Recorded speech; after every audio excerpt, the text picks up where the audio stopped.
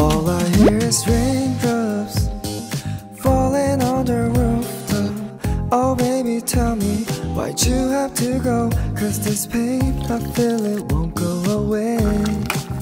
And today, I'm officially missing you.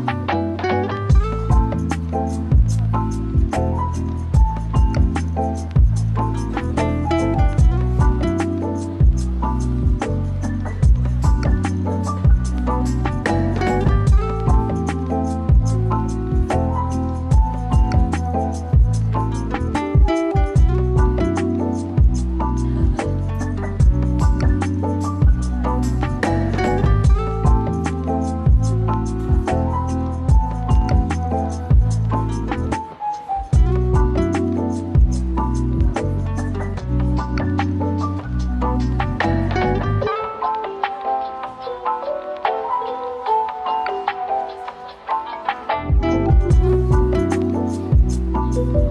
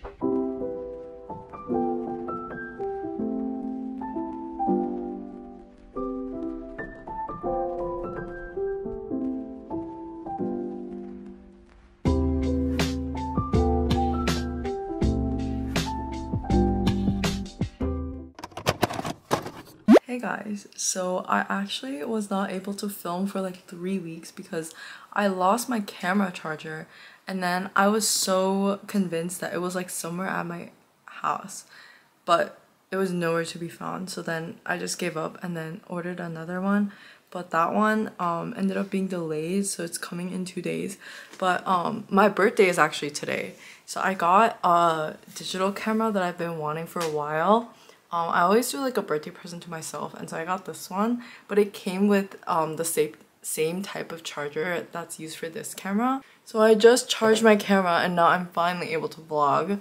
But um, just to catch you guys up, I um, today was my birthday, and so I got dinner. It was so good. I had this like cheddar board.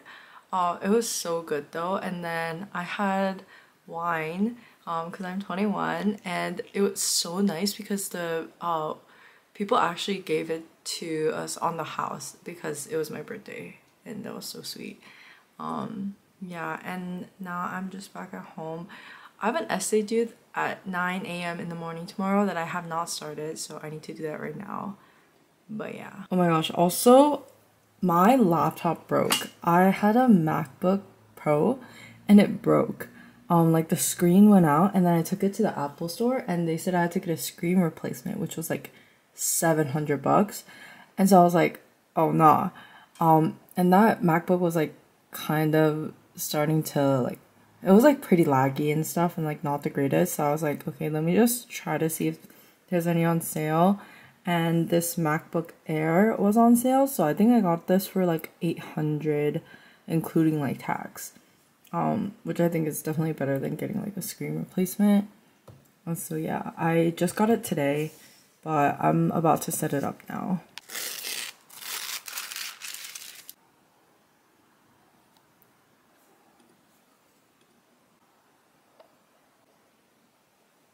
Okay, it's finally set up and ready to go. Oh my gosh. I'm so happy to have a computer now. Like, it was so inconvenient not being able to use my computer, but yay.